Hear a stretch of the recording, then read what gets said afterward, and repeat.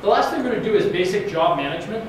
Um, this topic gets even more complex. If you take 2400, you actually write a shell, so you'll get into dealing with a lot of this. But normally we run a command like Emacs. It runs in the foreground. By that I mean it's what's currently being displayed by my shell. When I give it keystrokes, this is what I'm using, so on and so forth. You can actually do what's called running a command in the background. To accomplish that in the shell, you just type in the name of the command and you follow it with an ampersand. And this actually says take Emacs and go and run it, but don't actually occupy my shell. So Emacs is running right now, but I'm not looking at it. I can actually run other commands. Emacs is a good example for what I'm about to show you. Normally you would never do this with Emacs because it doesn't make sense, right? Like what's the point? Emacs is an interactive program. What's the point for me to put it in the background? This does come in handy though. This for like a big benchmark or this for like a big processing program that it's going to take an hour to run and I don't need to sit there and watch it run. I can do something like this. It's going to go run in the background and now I can just keep working on my shell without having to worry about it. This is running. It's running in the background, but I'm not, it's not occupying my shell. Um, if you want to see what's currently running, you can type in jobs. Jobs will tell you what's currently running. Right now we only have one and it's called Emacs. You can also see this by doing PS.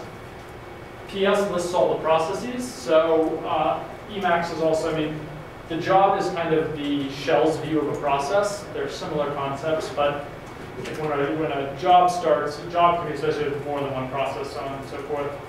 But the basic gist is the shell's going to call this job, the computer, the operating system is going to call it process. You can see them on both these. The question though is, what if I want to bring that back into the foreground? So what if I actually want to go in and start using Emacs? Or what if I want to go in and look at the output of this program? There's a command called foreground, FG, and if you type in FG followed by the job name, or the job number, which should be that number over there on the left in square brackets, it's going to go ahead and bring you back into the foreground on this job. Uh, I exited it, so now if I do jobs, we should see nothing, so on and so forth. There's also a, so the other thing is sometimes you don't think to start a program in the background. Sometimes you start a program, and now you want to put it into the background. So the way you do that is, the first thing you have to do is what we call pausing the program. You do that by doing Control Z.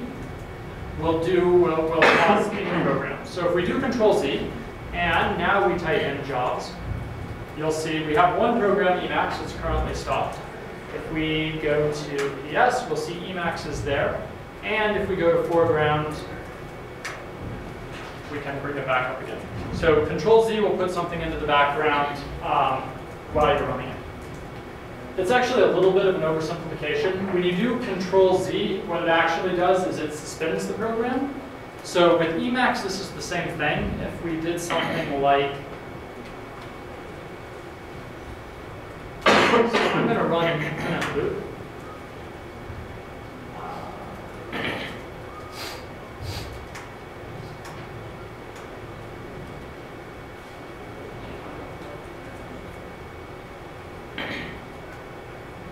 Ah, that's not a good example.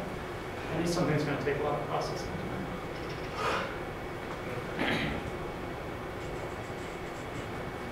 Well, we'll keep doing Emacs.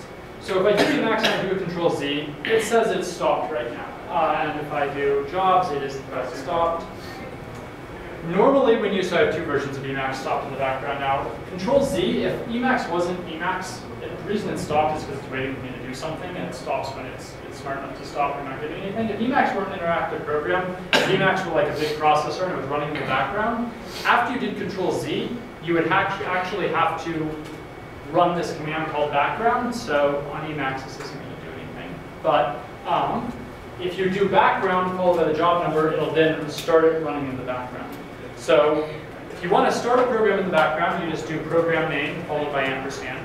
If a program is running and you want to put it into the background, you do Control Z. That'll suspend the program. Then you need to do background program name, and that'll start it running again, but this time in the background.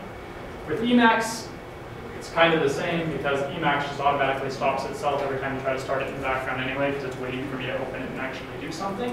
Um, I'll write an infinite loop maybe if we have some time here in a little bit and kind of show you the difference. But know what the BG, the foreground command does, the background command does, and know Control Z uh, and the ampersand after command does. The other side of this too is, I mean, So where most people run into this initially isn't because they need to go spin a bunch of jobs in the background, it's because they were typing in Emacs and they accidentally hit Control Z instead of Control C, which are pretty close to each other on the keyboard. If you do that, your work isn't gone, you've just suspended it. So to get it back, you use the foreground command, and you can go right back into Emacs. People come to me all the time freaking out they somehow crashed Emacs and lost all their work because they hit Control Z and the screen disappeared. It's really just foreground followed by the number of the job, and you're good. Questions on foreground or background, what that deals with? Um, what is the uh, plus or minus mean? So that means the plus is next to the default.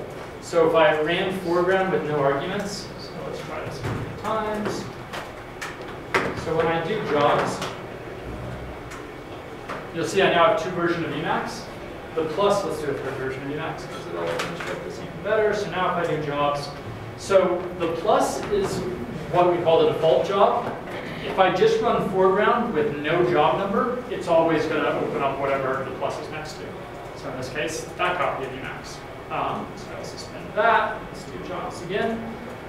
The minus is essentially the next one. So if this stops being the default, that's what will become the default next. It's like the one that will come after.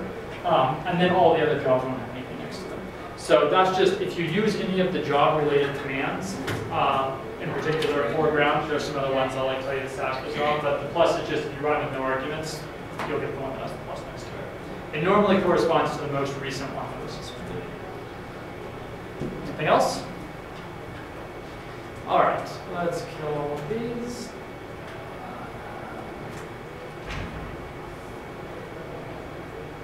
A way to get kill operate. How often do you use all of these? How often do I use, what do you mean? These commands in bash scripting? It depends what you're doing. I use bash scripting a lot. Uh, I use the foreground command every time I accidentally hit Control Z. Sometimes when I'm running a big job, I actually use them for what they were designed to do, right? Which is like, I have a program that takes an hour to run, I want to get it started and then check in on its status periodically, so I need to keep switching it between the foreground and the background. Um, these commands come from a time when all you had was one terminal, right? Now you can do things like open up another tab in your terminal and do more work there while your program runs in one. So they've arguably become less necessary than they were at one time, but they're kind of still a core concept underlying what's going on here. So you don't have to understand everything about them, but knowing they exist and kind of understanding the concepts comes in handy, especially if you decide you want to get into operating systems or stuff down the road where these concepts are, are really more core to what's going on. Cool. Um, so there's this command called kill. What kill does is it actually sends a signal to a process, so I can actually kill these jobs without actually having to reopen them again. Um, by default, kill wants a process number, not a job number, because kill's not just limited to the shell, it's a full-on program. So if I run PS, I can get the process IDs, I'm going to use them instead of the job IDs. There's a way to use job IDs, I'd have to look at the kill man page. It involves some syntax in front of the job number, but if I don't want to bother with that, I can just start typing in these numbers. So now if I run jobs, you'll see that that first one's gone. Let's do PS again. So I killed one, I'm going to kill next.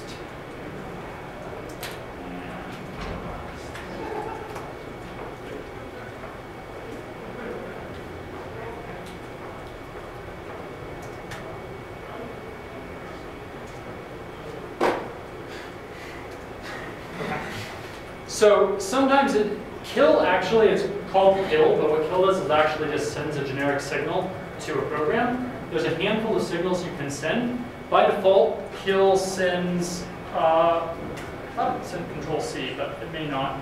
Kill 9 is the, that says send a signal that always means terminate this. So if kill by itself doesn't work, you can use kill 9. You can read all about the details on the man page. So now if I do jobs, go down to 1, and it's been All right, so let's clear all of this. Questions on PS, jobs, etc.? Okay.